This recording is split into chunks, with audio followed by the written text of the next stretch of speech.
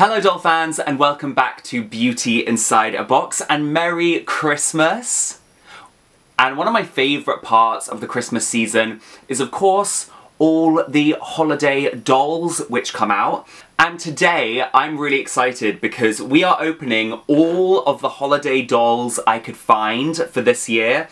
We have the Disney Store holiday doll, we have Barbie, of course, classic, and we have Monster High holiday doll. First of all, if you love dolls as much as I do, please don't forget to subscribe to my channel and check me out on Instagram and TikTok and let me know your thoughts and feelings on these dolls in the comments as we go. I am super grateful because this holiday Barbie, the 2023 holiday Barbie, was gifted to me by Simon's Collectables, a great friend of the channel.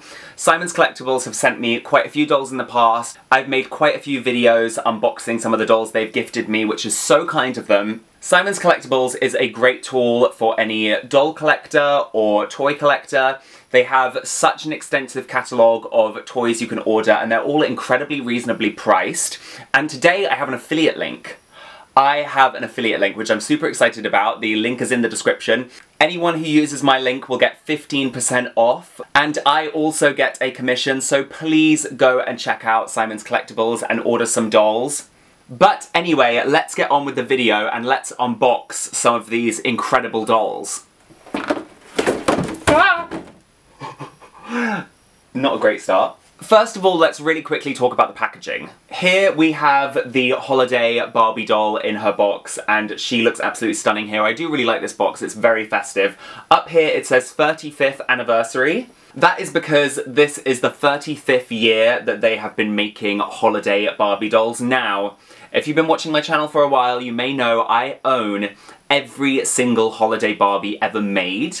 And I made a video a couple of years back where I went through every single one. I'll put a link to that video in the description and somewhere on the screen so that you can get up to date on all the amazing looks coming from Barbie each holiday season. There's lots of gold and red, very festive colours. On the back here you can see the other dolls which are available. I think people are really excited about this one. Um, I do love the fact that she has a high ponytail. Up here it says, for 35 years, holiday Barbie dolls have turned festive moments into cherished memories, inspired new family traditions, and filled the season with goodwill and joy. Aw, isn't that adorable? And then obviously it's written in about a thousand different languages. So there is Barbie's box. Now let's have a look at another Mattel property. This is of course Monster High. The boxes are like very similar shapes and designs. Um, obviously keeping the Mattel branding consistent. I do really love this like purpley uh, logo here. It's a really nice mix of obviously like Christmas aesthetics like the snowflakes and kind of Halloween spooky Monster High aesthetics like the moons and the cobwebs. I think that's really clever. It is giving Nightmare Before Christmas and I love that film. I also love Halloween so the more we inject some Halloween into Christmas, I love that. Um, I'm a big Halloween girly. I'm definitely more of a Halloween girly than I am a Christmas girly. It says winter edition down here. It doesn't. It says holiday. Holiday, get it? I'm not sure how much I like the yellow. Uh, it's not like the most Christmassy colour.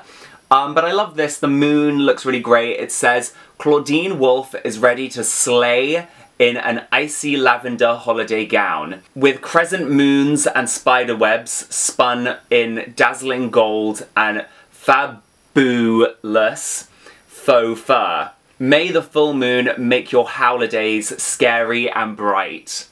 You know what? We love a pun. Monster High is famous for their puns. Work. There are these really incredible images of her here. Last year I was really sad because I could not find the um, Monster High holiday doll anywhere. It wasn't sold that many places in the UK, neither was this doll, although it is sold on Simon's Collectables, so go and check that out. But I managed to get the one from last year this year. I'm really excited. I had to pay like a hundred pounds for her, because um, she's really rare in the UK for some reason, but I love her. I actually love her. I do think I prefer her to this one, but I'll reserve judgment until I've got this doll out of the box. There is Clawdeen's box. Last but certainly not least, we have Tiana from the Disney store, and I'm obsessed. I, I'm really obsessed. Um, last year I think I said that the Disney Store doll was my favourite holiday doll of that year. It was Tinkerbell. I do think I preferred this one overall, but like I said before, I'm going to wait till I get her out of the box. In the bottom you can see a bit of a kind of bayou, like, vibe mixed in with classic holiday iconography like snowflakes again. We have a frog in here. Weirdly, weirdly, this is the 2024 holiday special edition.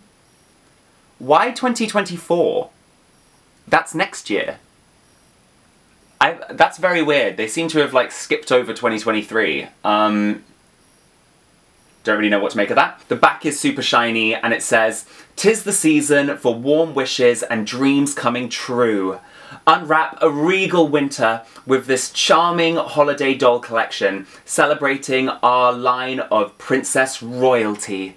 Disney royalty. Designed by Disney artists, this Tiana doll sparkles bright and captures the glow of our festive fairy tale beauty. Princess Tiana's warmth shines throughout the bayou and comes to life even more for this magical season.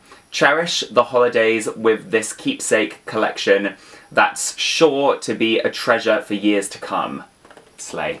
Slay. I do really love, I do really love this line and I think every year they do a really good job of like bringing the aesthetic of the film to life in a kind of Christmassy way, and this one's stunning. So far we've had Ariel, Rapunzel, Tinkerbell, and now Tiana. I think Tiana may end up being my favourite. Okay, doll fans, so I've shown you the packaging.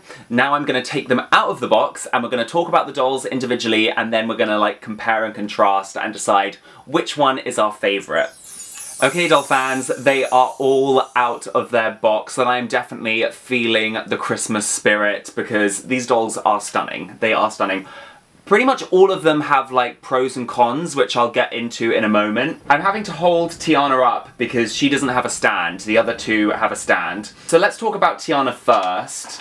You guys can go stand in the waiting room. now I have to say, this outfit is beautifully designed and as per usual with the Disney store, the dolls really feel like very luxurious. There's a lot of quality and attention to detail. I love this new face mold for Tiana. First things first, stunning, stunning. She's got like gold makeup, which is very cute and in keeping with the little gold accents on the outfit. She has this really beautiful like 1920s inspired little tiara headdress thing on with like proper material feathers coming out the top there. She not only has a really cute fluffy shawl with little gold tassels at the bottom, but she also has this incredibly made jacket, floor-length jacket. It's made out of like velvet and it has this gold pattern on the side, which is really giving like 1920s Bayou, but also Christmas. Um, unfortunately, the glitter, the glitter design doesn't carry into the back. One, one con for this doll, but mostly pros so far. She also has this long, um, beaded, pearly necklace, which is very cute. And then her dress is like so stunning. It's nearly floor length at the front and then has a train out the back of this incredible pleated tulle. I really love the dress. But I think one of my favourite parts of this doll are these super cool, like, gold and pearly white, like, boots. They are so stunning. On her dress as well, you can see these, like, incredible, like, gold designs. I am obsessed with this doll. Her hair is styled slightly differently to how she normally has it. It's pulled into a little side pony. I love this for Tiana. She also has these like lacy gloves. The material is a little bit cheap for these, but still an incredible little extra added touch. The, the one on this side is fraying quite badly, but it's still really, really cool. She also has great articulation. She's articulated at the shoulder and the wrist and the elbow, as well as having the bendable rubbery legs. She has the old body mold, not one of the newer body molds that we see some of the Disney Store dolls having, but I think overall, this doll is just so opulent and ostentatious, and I I love this outfit. I love this doll. Okay, next up, let's talk about one of the most famous, popular fashion dolls of all time, celebrating 30 years of making holiday dolls. She's a true trailblazer. We have Barbie, and of course she is dressed all in gold this time.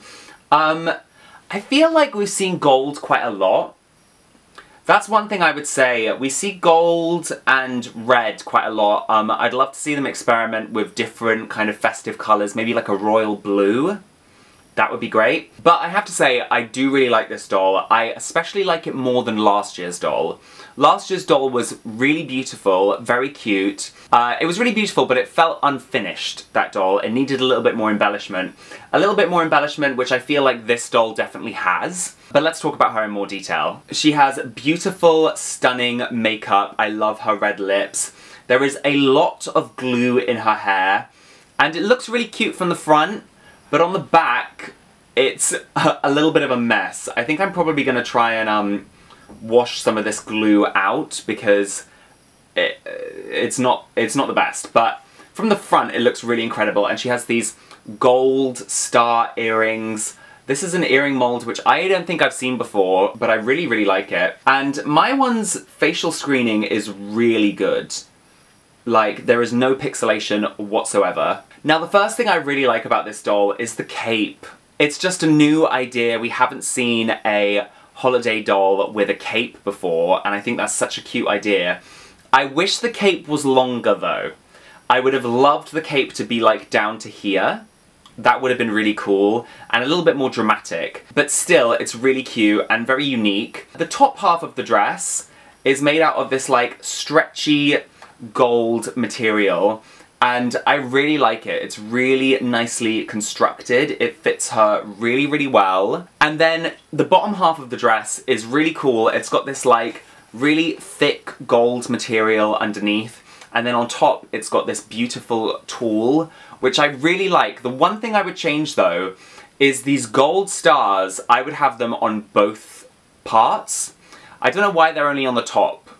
I think it would be cool if they were on both. That would have looked like, just would have just elevated it a little bit more. But yeah, I really, really like this glittery tulle, again, very opulent. She has this chunky gold bracelet as well, which matches the star earrings. She also has these gold high-heeled shoes. I don't love these. They stay on very well though. Uh, they're fitted really nicely. But yeah, I don't know, they're, they're fine. They're, they're, they're not super exciting, but they're fine. She also has red painted nails, which I think is really cute. Overall, I really like this year's Holiday Barbie. I think it's one of the better ones we've had in recent years. I'm a really big fan. What do you guys think of this year's Holiday Barbie? And finally, coming to the main stage, we have Clawdeen Wolf in her holiday outfit. I think one of the first things I'd say about this outfit is it's not screaming holiday to me. I think maybe the fur and uh, the gold is kind of giving festive, but there's nothing really about it that screams festive to me, but what do you guys think? I do really like her stand though, it's really cute. Now, she of course has this really cool, like celestial looking crown on. I love the crown and she's got gold and like purple makeup on. I absolutely love it. Now, her hair. I feel like I'm not going to brush this because I think it would just become a big poofy blob. Um, the colour is really nice and it feels nice quality, it's just a bit of a mess, you know? Like, it could have been styled a little bit nicer. Now this black bow necklace and the black sparkly bow bracelet are kind of the only two parts of this outfit that I think really scream holiday. And she has this obviously faux fur shawl, which is really cute. She has this little gold moon belt. And then the dress itself, I really like. It Again, it fits her really well. The material is a little bit stiff, but it's still really nice. I love this pattern on the material, it's very cool, it's kind of giving psychedelic. I love the gold details. I love this little bit of black tulle which is poking out here. Oh, another thing I really like about this doll is these two parts aren't sewn together, which, you know, sometimes they sew these two parts together, which really annoys me. And that's the same with the Barbie doll as well. They're not sewn together in the back, which I'm really happy about. I hate it when they do that. Hey, I actually discovered after filming this video that they sewed the two layers of Tiana's dress together, which kind of frustrates me. I wish they hadn't done that, but it is what it is. Still a beautiful doll. Now, the shoes. the shoes. I'm so disappointed with the shoes because I really like the design.